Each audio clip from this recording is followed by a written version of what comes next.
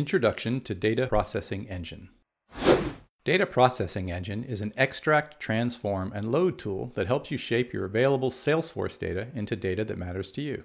Collect data, configure how to process that data, and then write the results as new or updated records.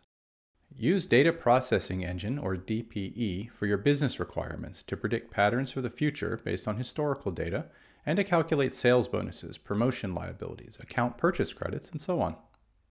Here's how it works.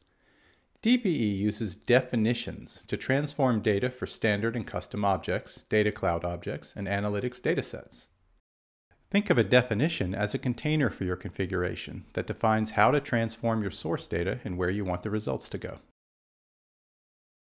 Definitions include the configuration where you provide the data source, the transformation requirement of that data source, and the writeback object to save your results. Let's move on to the element that makes the transformation possible, nodes. Each node type in your definition performs different actions on the data. Nodes help you define the source object and how the data needs to be transformed. Each definition must contain at least one data source node and one writeback node. Think of a data source node as the start point in your definition and the writeback node as the endpoint. Data source nodes define the source data that you want to transform. The source data can be standard and custom objects, analytics datasets, or data cloud objects. For example, a data source could be an account name, city, or revenue. Writeback nodes define where to store the transformation results. The results can be stored in standard and custom objects, analytics datasets, or data cloud objects. So, you defined your source data and where you want it to go, but how can we transform the source data so that it's useful and meaningful? That's where the other node types come in. Use forecast nodes to make predictions about future values based on historical data. For example, estimate the order quantity for the next four quarters based on orders placed in the last five years. Use filter nodes to select records based on one or more conditions. For example, if you want your dataset to contain only records for San Francisco-based leads, specify San Francisco as the filter condition value.